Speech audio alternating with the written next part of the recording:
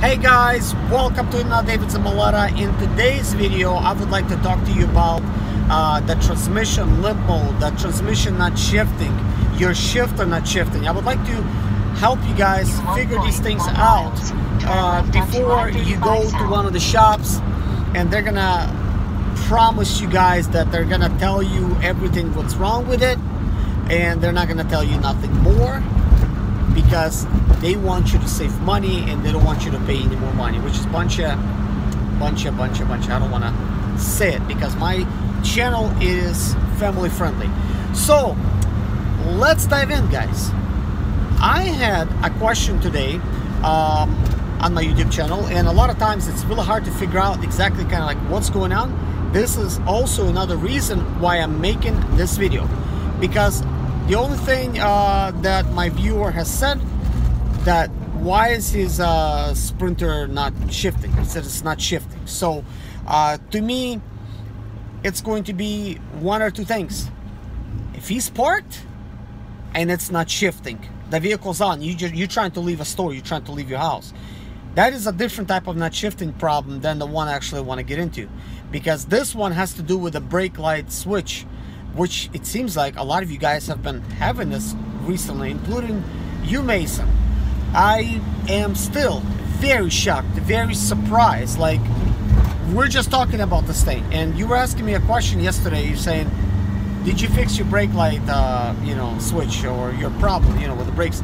And I haven't because I I wasn't able to make it home. So obviously I cannot throw parts at it and just try to, you know, Turn hunt the problem down. So see, we're gonna pause that right there.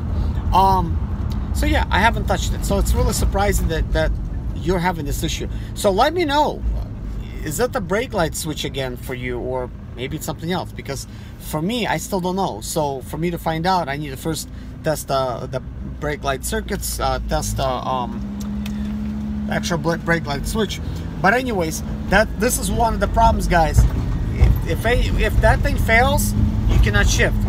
But I'm pretty sure the question that I, that I had was has has uh, you know was to do with actually you driving and you're basically all you see is a D but you're thinking why can't I shift this manually by uh, tapping to the left tapping to the right which is normally you could actually shift it like that. But why is it stuck on D? It's just not shifting anymore. You know so I actually want to answer a few few questions of this that you might be having. And the first signs that you might be having an issue, guys, I want to go ahead and let you guys know because I actually had this before. Um, I wasn't sure what those signs meant before uh, because this was like a long time ago. And then obviously where it led to from there, okay? So, it is not shifting from D.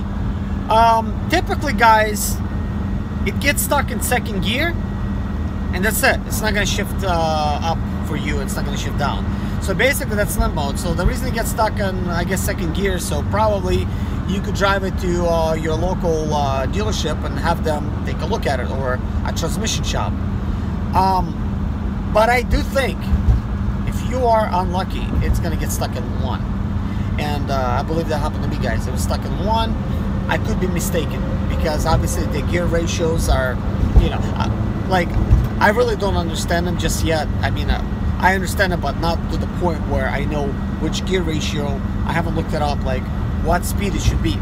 But what I could tell you guys is once a, mine was in the limp mode uh, while I was driving, it was not shifting. Um, if I was driving 40 miles an hour, uh, I was reaching 4,000 RPMs, guys. So try try to get on the highway that's like 65 miles an hour. If, if you got to get on the highway in order to get, you know, to a transmission shop you're gonna be like the slowest guy on the road. You know, might as well like drive like I don't know, like on a, on the curb. I couldn't even drive on the highway, guys. This happened to me on the highway right after traffic. I was in um, Tennessee. There was traffic.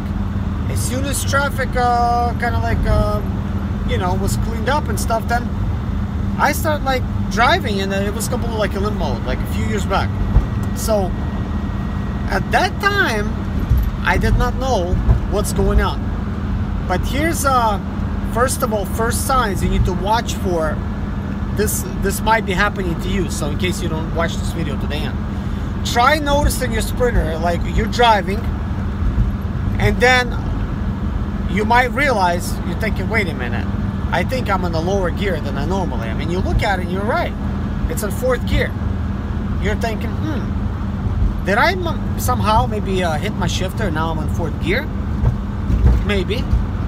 So you probably shifted back and think nothing of it. Then it happens again, and you start realizing, okay, it's in fourth, but uh, you know it happens quite a bit, and then you start noticing it's like in fourth, but when you're slowing down, it's like it's taking you to third. Like you, you notice it's like boom from four, three, two, like one. You know, it's like shifting by itself. Okay.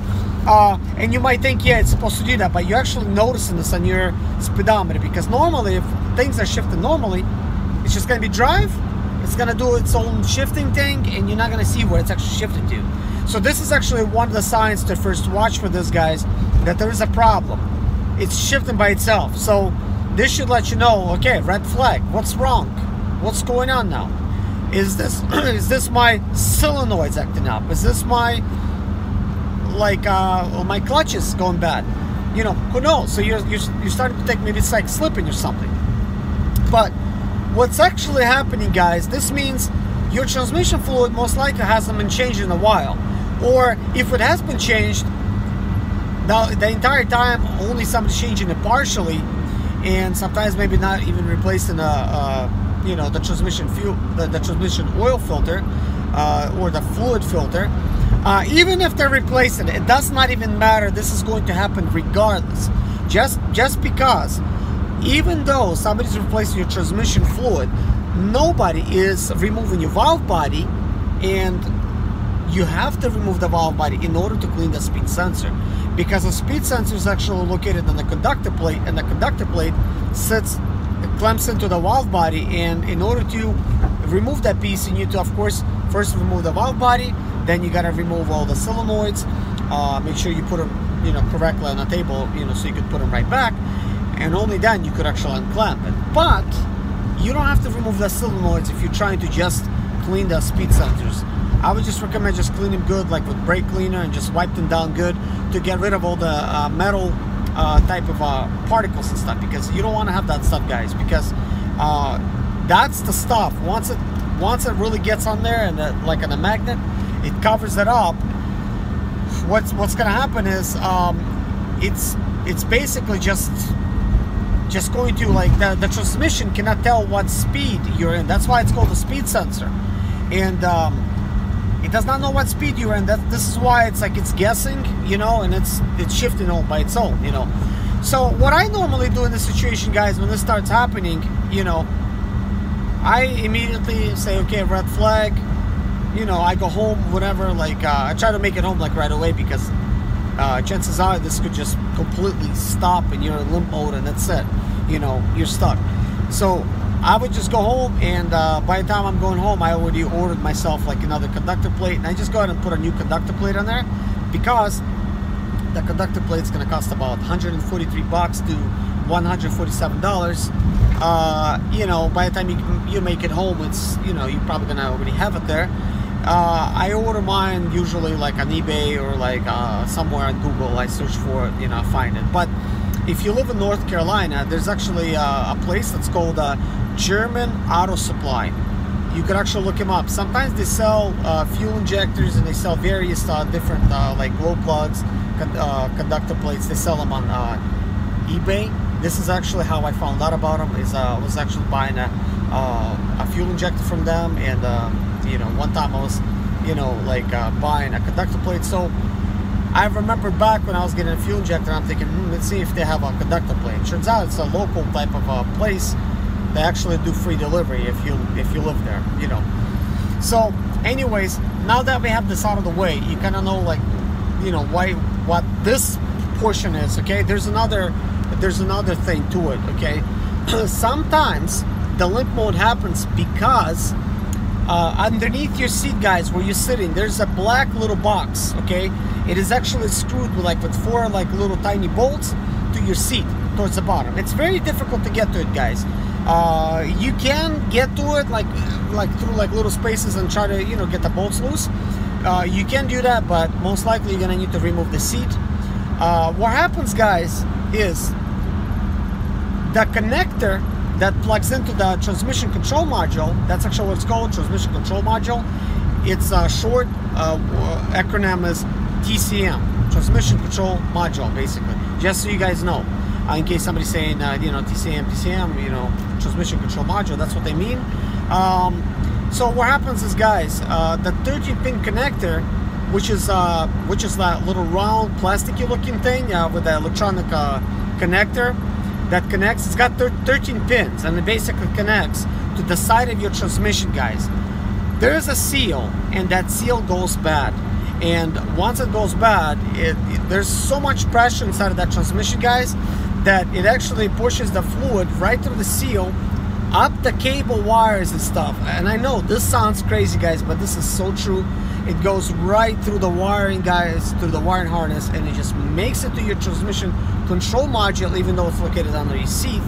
That whole path, and uh, it basically makes all the all the connectors uh, wet uh, with fluid, and that ends up uh, ultimately causing a limp mode. I mean, it could short out the computer uh, but it causes a limp mode, guys and it just stops shifting. So when it stops shifting look at that piece first then start looking at everything else. But here's one thing I do recommend guys. If you are going to change your transmission fluid please please guys if you can clean the speed sensor. That's like the one thing um, you know by doing all the things I described. Uh, second make sure you guys change the change the 13 pin connector. Make sure you change the seal. I know sometimes it doesn't seem like the seal actually makes a lot of sense to replace but I always replace it anyways guys. It's a cheap little seal. I mean you know it's worth it's worth the extra money guys because you don't want to really go back and try to do the job all over again because now your transmission fluid is leaking all on the floor. Uh, so it doesn't worth skimping on these parts so you do need a 13 pin connector. You do need a seal. You do need a new filter. Um, replace those guys. Wipe down your speed sensor. Make sure not only that you drain your transmission fluid from your uh, transmission oil pan, uh, but do drain it from torque converter, guys. And the way you need to actually drain the torque converter is it's not easy. It's not easy. You might need a buddy to help you guys, but be careful gonna have somebody twisting the crankshaft on your engine, guys. Don't have your hands on there, guys, because you put your fingers in there, somebody twisting it, they could chop them right off, guys. So be careful. What I actually do, guys, I do it myself. I don't ask for no help. I get on one of those like a little rolly thing for the mechanics, and I'm like right towards the front of the engine, guys. I like uh, typically I have like my, uh, you know, I've raised up just a little bit my, my vehicle, just a little bit. Still plenty of space in there, guys. And I try to lightly feel it with my fingers while with one arm, and it's and it's a very heavy twist, guys. It's you know, it's I mean it's a crankshaft. You're cranking over the whole engine, so it's real hard to twist it with one hand. But just try to do it very slowly and try to feel for that little bump. It's kind of like on the side of the torque converter. If this is a torque converter, it's going to be like on the side. It's like a little bolt that requires the Allen wrench for you to pull it out. Now, once you twist it over, guys, and you find that bolt, make sure do not do not drop that bolt in there, guys. Please don't. It's gonna take you like a while to fish it out, guys. I was replacing this thing one time with a mechanic that was actually showing me how to do it, and he was drunk at the time. And uh, I told him I was gonna remove my. He's like, no, let, let me let me do it. Let me do it. I Actually, not remove it, install it back. he, he wanted, he decided to install it back. He dropped it in there, guys. We were fishing for like for about an hour for the bolt, and you don't want to have that bolt in there, uh, guys. Just like look loose in there. I mean, not only that, it, it could be like a hazard, you know. It, somehow or another, that bolt's going to be like a cause of a, a major catastrophic uh, torque converter failure. You know, you just never know, even if you get a, like, like another bolt. So please be careful when you remove with the Allen wrench, just maybe have something magnetic to where, you know, you're just going to be able to pull it out because that bolt is magnetic, guys, which is a good thing. We actually use the magnetic type of thing to fish it out, guys. Good thing he had one of those.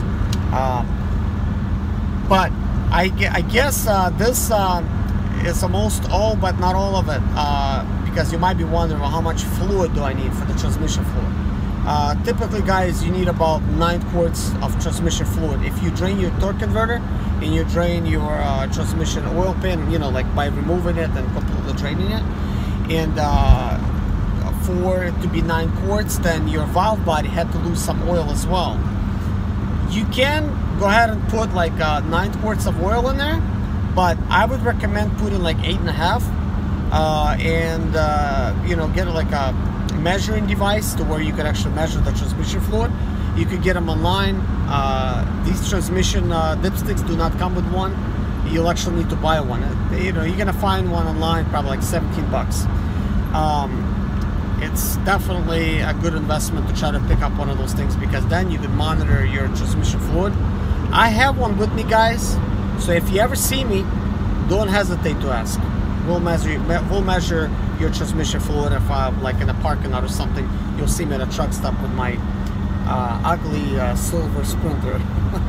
I know some of you guys told me it looks good, but I don't know. It's like I always, uh, you know, I know it's old. Uh, it's got over a million miles. It's it's been twice salvaged. Yeah, it's far from pretty. You know, it's.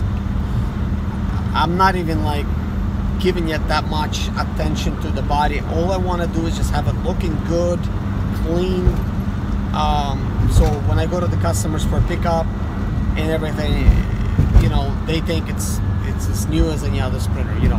And it drives really well, guys. It, I mean, I really like am fortunate, like how well it like handles good, like it just feels feels pretty good. But anyways, guys, I guess I explained pretty much uh, everything. Uh, you know, including the portion where if it's not shifting, it's a brake light switch. So you kind of get an all-in-one uh, type of video on this, and it's not that long, which uh, congratulate myself. Under one hour, good, good job for me. Um, but anyways, guys, thank you so much for watching. I hope you don't have any breakdowns. Uh, and if you do, let me know in the comments below. Chances are I'll, I'll answer that same day. Uh, if I if I dealt with that issue, of course I'm going to let you know. And uh, that's my whole goal. I do want to respond to every single comment. And if you're not a subscriber, consider subscribing. Jo join the Sprinter community. Uh, after all, this is what I'm trying to create here. Is a Sprinter community, uh, starting with me with my videos and uh, finishing with you guys, uh, which a lot of you have really contributed uh, to the comment section with all these uh, ideas and stuff about you know certain type of breakdowns. And I am really glad to see you guys communicate with each other in the comment section because that's kind of like what I was hoping to achieve one day once I get a, you know like many people watching uh, to try to you know talk to each other help each other out. Uh, and uh, it's it's becoming a pretty rich type of source with information because the comment section is full of information guys you'll see some of my answers they're like this long guys and uh, believe me, like I'm not even using a voice uh, to write it. I think only on several occasions I actually use my voice uh, with Siri to type it. And you'll actually find out that I use my voice because it's gonna look really weird. Because sometimes she messes up and uh, it's all over the place. But if you see common mistakes, spelling mistakes, yeah, I'll misspell some stuff because uh, I don't want to blame it on English as my second language. But after all, it is. Uh, I still speak Russian every single day, so. Здравствуйте to my Russian viewers. Welcome to my channel. Добро пожаловать на мой канал. So, anyways, guys, take care. I appreciate you guys. Be safe out there. And uh, give me some ideas. Uh, what would you like me to answer? Because I do know a lot uh, that I haven't posted yet. So, I just wanted to make these little updates. Hopefully, they're going to be a little bit more insightful for you guys. Take care of yourself. God bless you. Bye-bye.